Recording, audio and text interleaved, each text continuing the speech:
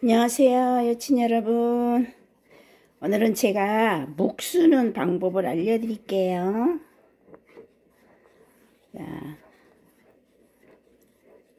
도토리 한 컵이면 물을 일곱이나 여덟 컵을 여덟 컵을 붓고요.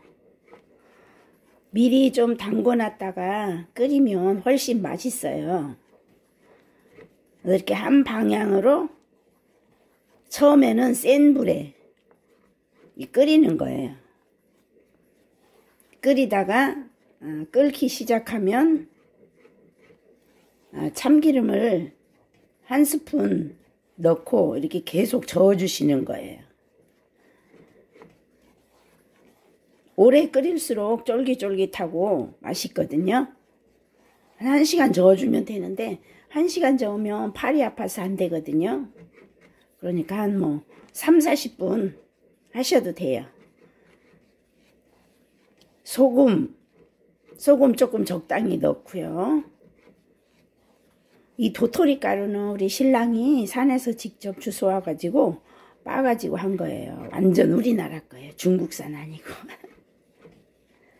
이렇게 계속 저어주시면 돼요. 밑에 눌러붙지 않게 잘. 근데 지방하고 서울하고 이렇게 또 다르더라고요. 물 농도가. 농도가 물 때문에 아마 그런 것 같아요. 저는 8컵 붓거든요. 1, 8대 1로. 그런데 저 엄마네 집에 가서 하면 7대 1에도 음, 7대 1해야 되겠더라고요. 어, 그러니까 다르니까 처음에는 7컵.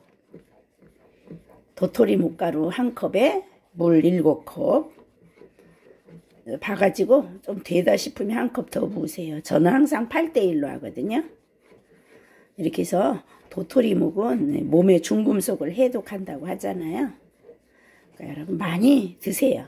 도토리 묵 많이 쑤어 드시면 돼요. 아셨죠?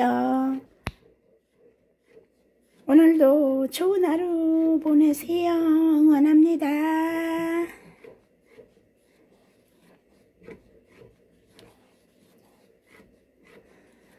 이렇게 끓이고 음, 약 10분 동안 놔뒀다가 유리 그릇 같은 데다 더 담아 놓으세요.